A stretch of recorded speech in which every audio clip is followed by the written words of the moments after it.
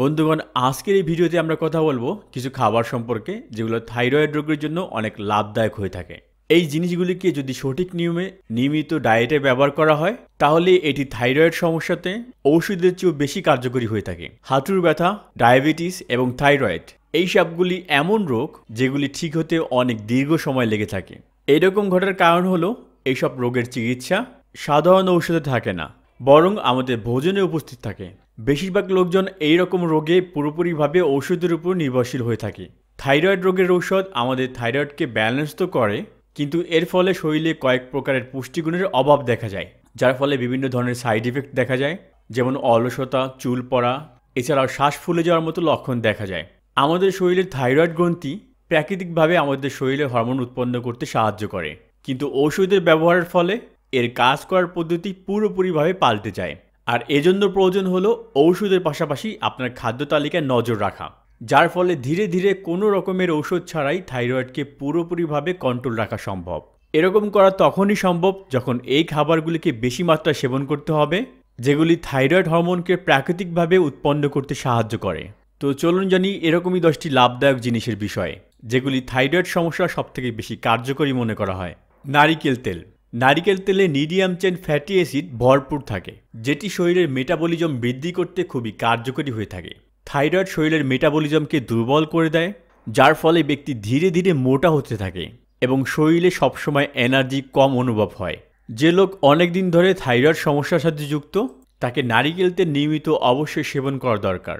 কেননা নারিকেল তেল শুধুমাত্র থাইরয়েড ফাংশনকেই ভালো করে না, এর পাশাপাশি এতে উপস্থিত লরিক অ্যাসিড শরীরের অতিরিক্ত চর্বি কম করে এবং হার্টের রোগেও খুবই লাভদায়ক হয়ে থাকে। প্রতিদিন এক চামচ নারিকেল তেল, গরম জল, গরম দুধ, গরম ডাল এবং যে কোনো প্রকারের সবজির সাথে মিশিয়ে সেবন করা যেতে পারে। দই। নারিকেল তেলের মতো দইও এমন একটি জিনিস যেটি থাইরয়েড রোগ হলে প্রতিদিন সেবন করা দরকার। দইয়ের মধ্যে আছে ভিটামিন ডি, সেলেনিয়াম এবং প্রচুর পরিমাণে আয়োডিন উপস্থিত থাকে, যেটি আমাদের থাইরয়েড হরমোনের জন্য সবচেয়ে বেশি লাভদায়ক মনে করা হয়। প্রতিদিন কমপক্ষে এক কাপ দই খাওয়া হলে ধীরে ধীরে থাইরয়েড সমস্যা ভালো হতে থাকে। দুপুরের ভোজন করার পরে দই অবশ্যই সেবন করুন। ধনিয়া। ধনে পাতা এবং ধানিয়া সব ধরনের থাইরয়েড রোগকে ভালো করতে খুবই কার্যকরী মনে করা হয়। এটি শুধুমাত্র থাইরয়েডকে ভালো করে না, পাশাপাশি কোলেস্টেরলকে বজায় রাখতে সাহায্য করে, মোটা ভাব এবং শরীরে বাড়তে থাকা ডায়াবেটিস খুব দ্রুত কম করতে সাহায্য করে। সপ্তাহে তিনবার চল্লিশ থেকে পঞ্চাশ এম এল ধনিয়া পাতার জুস এবং জলের মধ্যে ধানিয়ার বীজকে বয়েল করে এর জল পান করুন।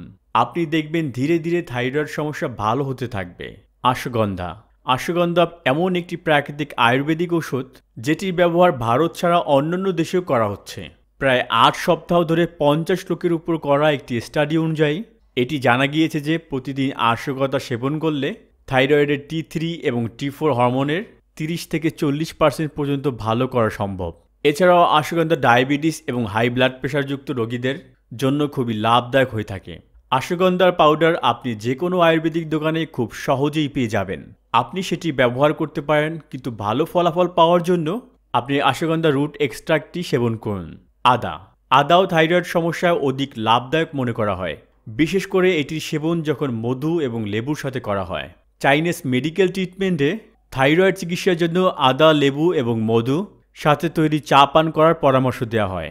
আদা এবং মধুর মধ্যে অ্যান্টি ইনফ্ল্যামেটরি উপাদান এবং অ্যান্টিব্যাকটেরিয়াল উপাদান পাওয়া যায়। এর সাথে লেবুতে উপস্থিত ভিটামিন সি আমাদের শরীরে টি থ্রি এবং টি ফোর হরমোনকে ভালো মতো কাজ করতে সাহায্য করে।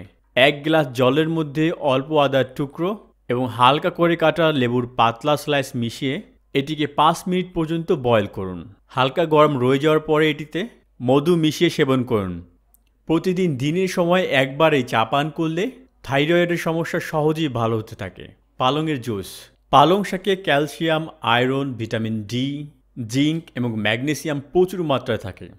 আর এই সকল পুষ্টিগুণই থাইরয়েড রোগকে ঠিক করতে অধিক কার্যকরী হয়ে থাকে। পালং শাককে গরম জলের মধ্যে পাঁচ থেকে দশ মিনিট ডুবিয়ে রাখুন। এরপর লেবুর রসের সাথে এটি জুস তৈরি করে সপ্তাহে তিনবার এই জুস সেবন করুন। থাইরয়েডের পাশাপাশি পালং শাক এবং লেবুর এই জুস আমাদের শরীরের হাড়কে শক্ত করতে সাহায্য করে এবং চুলও আমাদের ত্বকের স্বাস্থ্যের জন্য খুবই উপকারী হয়ে থাকে।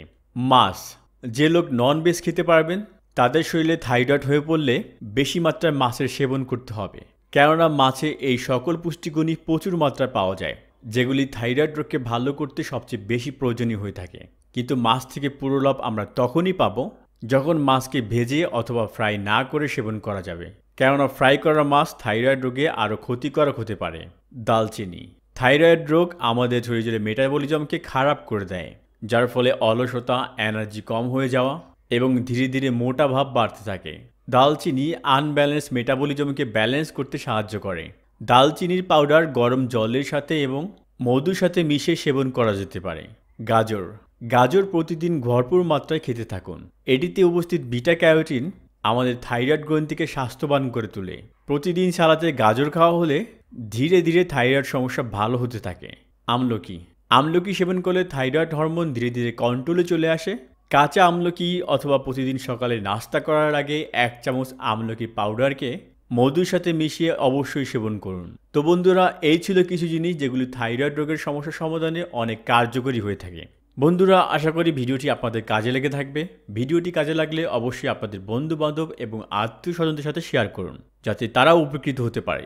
এরকম স্বাস্থ্য বিষয়ক ভিডিও পেতে আমাদের চ্যানেলটি সাবস্ক্রাইব করুন এবং পাশে বেল আইকনটি বাজিয়ে রাখুন, যাতে নতুন ভিডিও নোটিফিকেশন আপনি খুব সহজেই পেয়ে যান। ধন্যবাদ।